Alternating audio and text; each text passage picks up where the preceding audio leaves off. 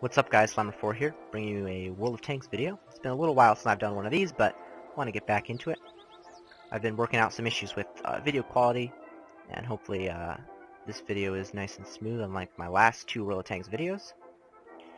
But anyway, I'm going to be continuing my little series on the American Heavy Tank line, and uh, today we're going to be looking at this T2 medium tank, which is the Tier 2 entry.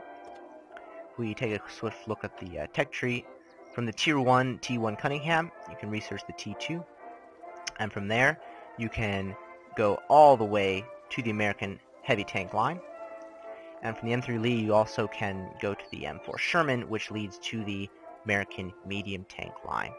In addition, from the EZ8, you can even get to the Jackson, which is the American uh, non-turreted tank destroyer line. So you can really research a large chunk of the American tech tree from this tank. So let's take a quick look at its stats here. It has 170 hit points, which if we compare it to say this T7 combat car, which has 150, or the uh, Russian Tetrarch, which has 140, you can see it has a pretty solid uh, health pool um, for a tier 2 vehicle. Of course it's a medium tank, so that kind of explains that. But you're going to definitely enjoy having that extra hit points um, compared to like say uh, and you know another light tank because that extra 20 or 30 HP um, is not much, but at a tier 2 when you have 170 hit points to play around with, definitely makes a difference. Um, but if we look at the armor, uh, you'll find that it's pretty poor.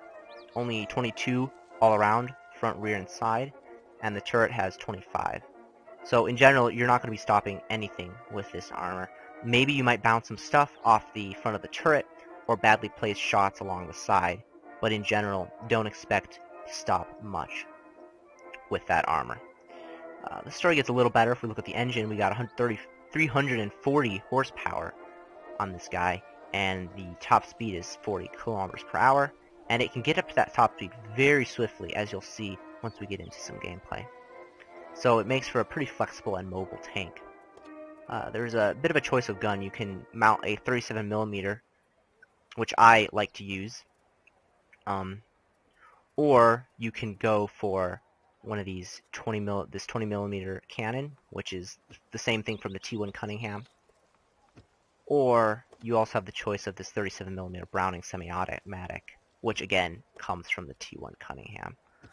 Uh, I generally prefer the uh, 37 millimeter gun, simply because it has uh, 48 penetration over the 30 of the 20 millimeter Hispano machine gun. And uh, I think when you're facing tier 3, tier 2, uh, and especially tier 3 targets, which the T1 Cunningham doesn't have to deal with, uh, you're definitely going to want that higher penetration value. But however, if you if you really like um, those machine gun type gameplays, uh, you can mount the 20mm machine gun on this tank.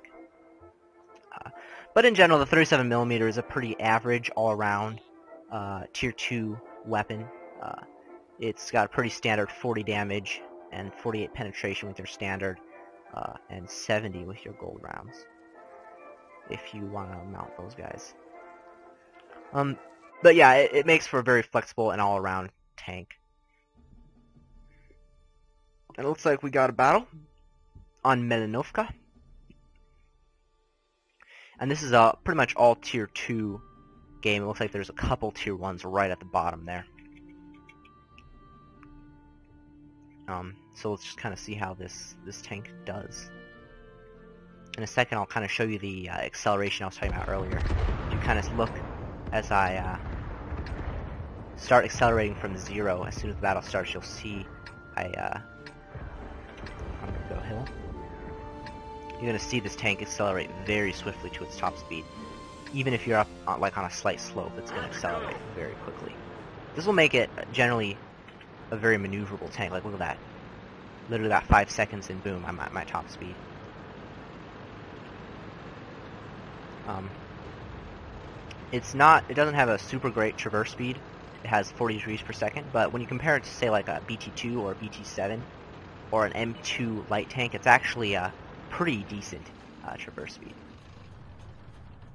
Another thing to note is the gun is actually fairly reliable and accurate. That was badly placed, but um, it does aim fairly swiftly. Um, which is pretty refreshing for a tier 2. Uh, super annoying when you have to deal with tanks that have just terrible aim times. So the gun is, is actually very reliable, and it also fires every uh, 2.46 seconds, so it's pretty solid. So you can kind of see the, the accuracy of the gun here. I found it to be pretty accurate and pretty reliable as well. Putting the shots generally where you want them to be. Weren't able to finish off that 2-2. One shot bounce, one shot did go wild. But, uh, not, not too bad. And you kind of saw that was my opposite number, the T2, and you kind of saw the turret armor at work there. One of my shells did bounce off the turret. So you can kind of see it. It does have that turret going for it a bit. But generally the tank is so large, you're not going to have much chance for people to shoot your turret. Uh, they're going to probably going straight for the rest of your tank. Another thing to note is the gun depression is not bad. Uh, it's not really fantastic, like it's the next tank on the line the M2 medium tank is has great gun depression. But it is something to kind of note. I gotta be very careful to help out my teammate here. This T2 light tank got himself into a bit of a trouble. Need to push up.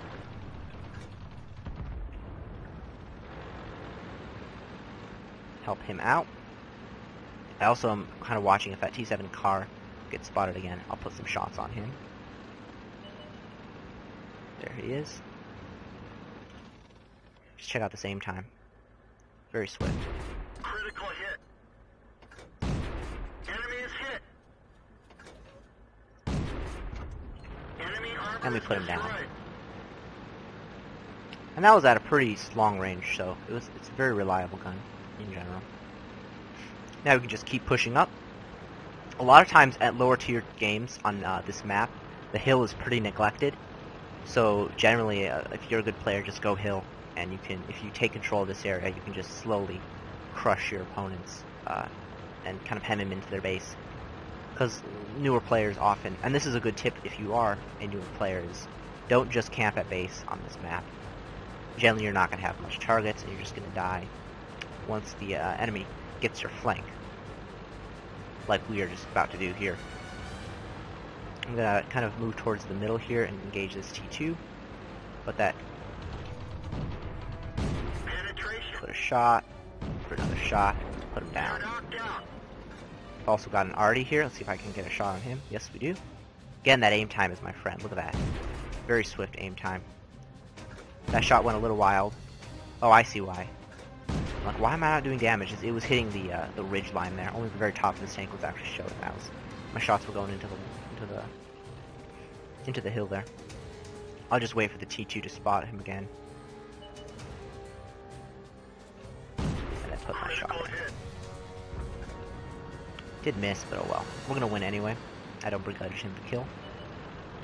Got a T1. Wait for me to aim. Did miss my first shot. Did miss my second shot, which is a bit frustrating. That one bounced. Critical hit. Ricochet. Critical hit. This Panzer II is well angled, unfortunately. I need to put a shot like right there. Panzer II is one of the more heavily armored vehicles, so I gotta really be careful here because I, I could easily throw this game. Because as I was sitting there wasting my time bouncing shots and missing shots, um, our team has unfortunately taken a little bit of uh, damage. We lost our T2 light, so I got to take this very carefully. My my view range is, is pretty poor in this tank. Um, so I gotta kind of hope my allies help me out there. We didn't even scratch Tracked him with his rear armor facing me, so it won't take long for me to put shots into his rear armor.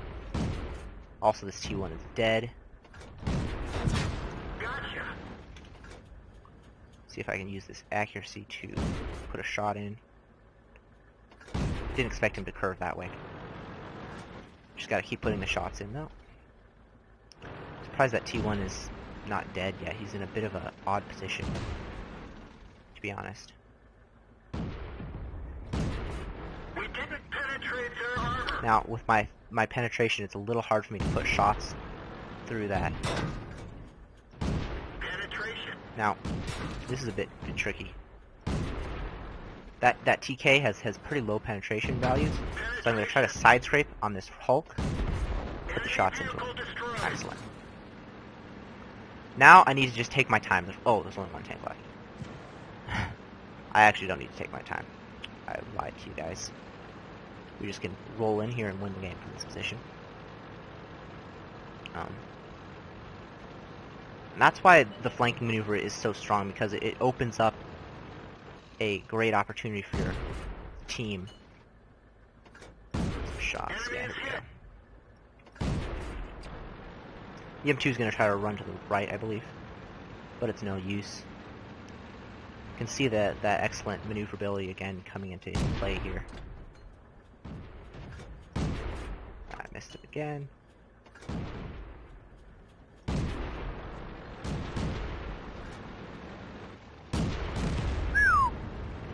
Bit of bad play there. I, I, I wasn't really sure what I was. Yeah, that, that little train dip kind of messed me up. But irrelevant. That was a good little battle there and hopefully that kind of showed you some of the strengths of this vehicle. It's a very good all-around tank. Uh, I think it's a fantastic sniper as well. The accuracy is pretty nice on it. Um, so compared to a lot of tier 2 vehicles, it's pretty easy to put shots on the target. Finished third on damage there, and second on XP. We got 4 kills, so it's a pretty solid little game. And also got our Master Badge first class, which is okay, 787 basic speed. So pretty solid little game there from the T2 Light. As I said, this is a tank that shouldn't be too uh, much of a pain to play. It's the gun I find to be very enjoyable, um, as long as you kind of stay safe. Uh, and as well, you can against lower tier players, you can pull off a little bit of side scraping uh, in this tank. So hopefully you guys enjoyed that video. Um, if you did, give it a like down below. Next time we're going to be looking at the uh, M2 medium tank, which is an extremely interesting tank. I'm very much looking forward to that. And I'll catch you guys later.